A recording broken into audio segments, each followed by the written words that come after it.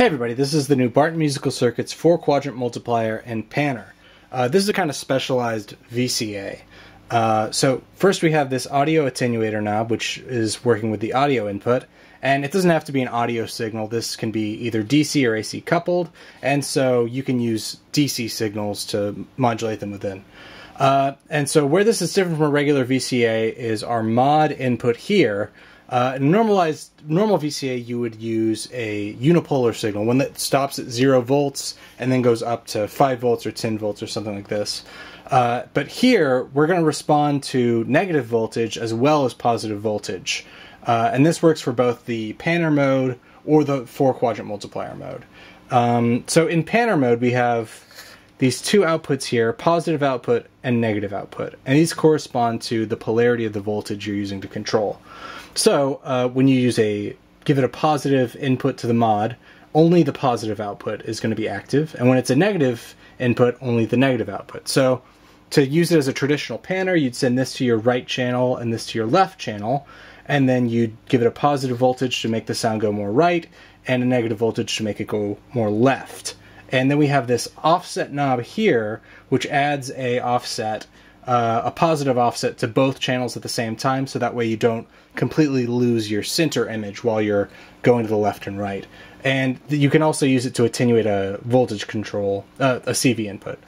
Um, and so then when you're in four quadrant multiplier mode, uh, the polarity of the voltage is going to determine whether you invert or don't invert the uh, input signal. And I'm going to show you that on the oscilloscope. So, well, there we go. Turn it up just a little bit. So this is our input signal, which is just a regular uh, saw wave. And here it's being modulated by a square wave, where it's just changing the polarity. It's inverting it. And let me turn up the square wave frequency a little bit. And then let me show you what that would look like with a triangle instead of a square. I'll turn that up.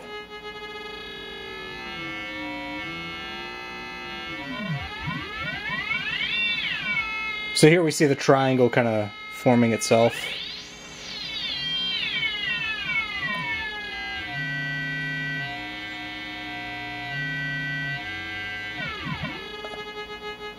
And then let's see a triangle modulating a triangle. And now I'm just going to play with the frequencies a little bit and you can see some, just see kind of how it looks on the scope and I'll turn it up.